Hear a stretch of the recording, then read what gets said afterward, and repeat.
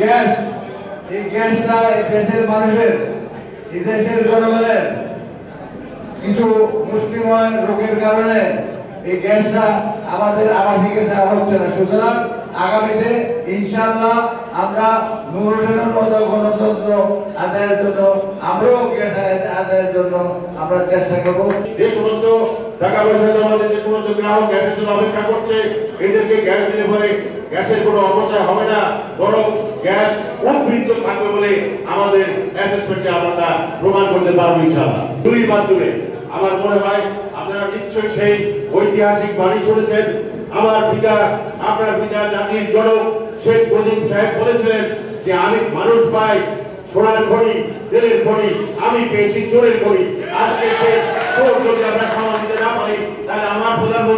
কি করে দেশের উন্নতি করবে, আমি তা ভেবে পাই না।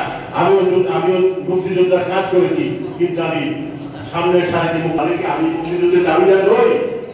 যদি তাই যদি হয়ে থাকে, আজকে চোরের কাছে কেন আমরা বন্দী হয়ে থাকব?